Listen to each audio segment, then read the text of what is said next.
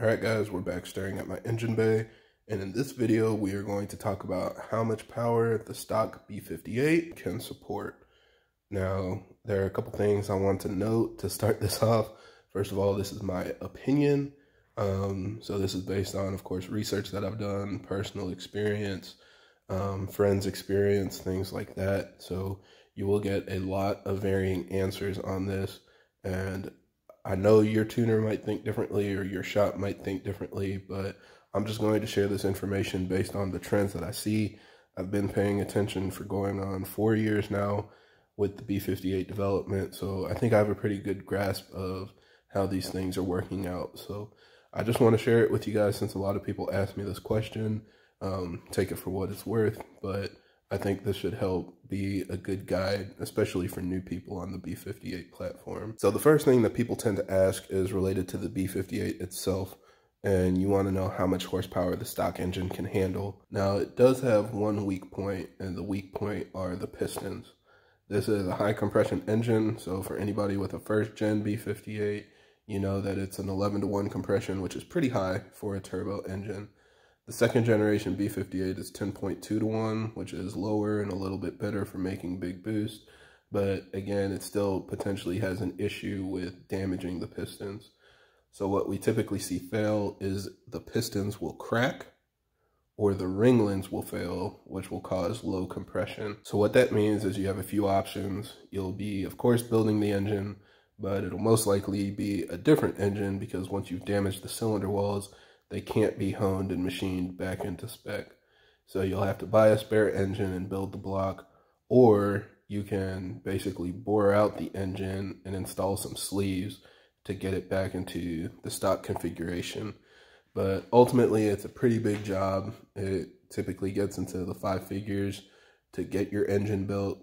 And that's something that I know a lot of you want to avoid. So the question is, what can we do to avoid a failed piston? Now we know the B58 itself is rated, you know, typically 320 to 350 horsepower depending on the platform and the tune. And a common assumption for most tuners is that these modern European engines can take anywhere from 50 to 100% of the stock rated horsepower on top of the stock horsepower. So that brings us to a nice healthy number of around 600 to 650.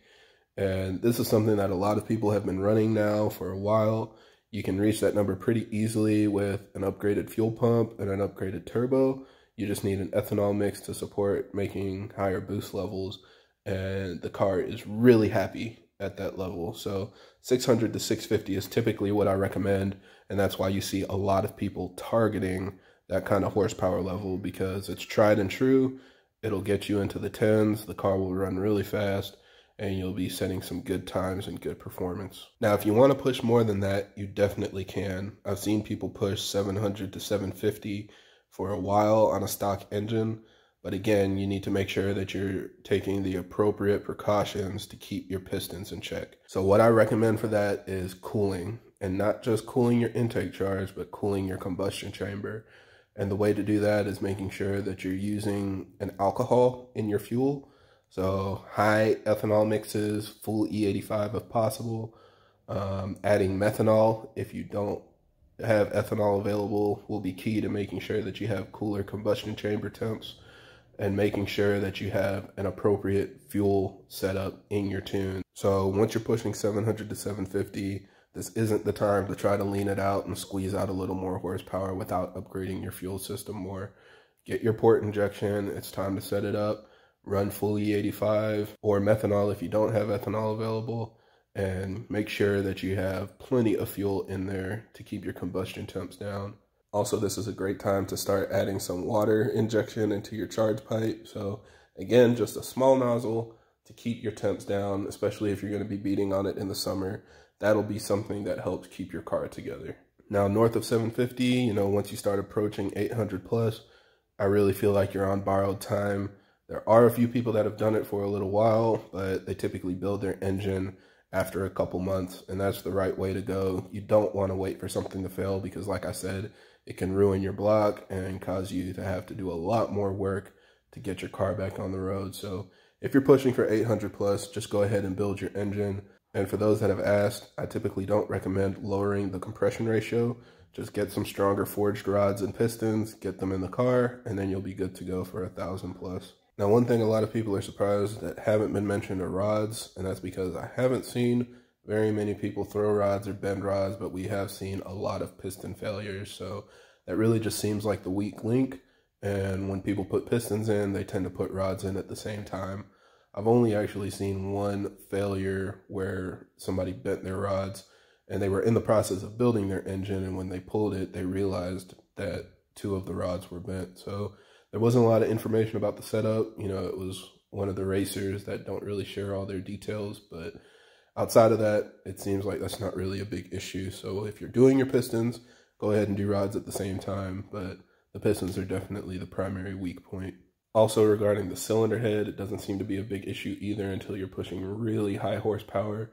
The only person that I've heard of having valve float issues was one over at Big Boost, and he said north of like 900 or 950 plus, he began experiencing valve float with higher boost levels. So that's something that you might want to consider if you're shooting for over a thousand horsepower to go ahead and install some stronger valve springs just to make sure the reliability is there and you don't have to worry about that. So yeah, those are the details on the B58 engine as far as stock limits and what you can do to upgrade them. Hopefully this video helps you out so that you can plan your build to reach your goals. If you have any other questions about what I've talked about, feel free to leave them down below. Thanks.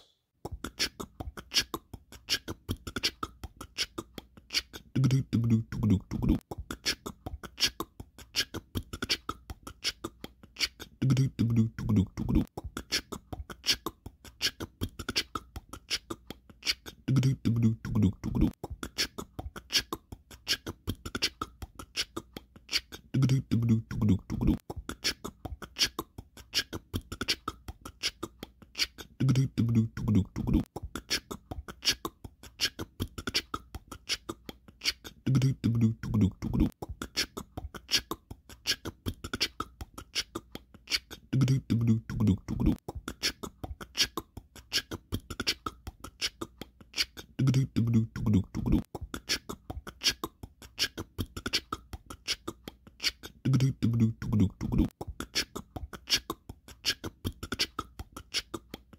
do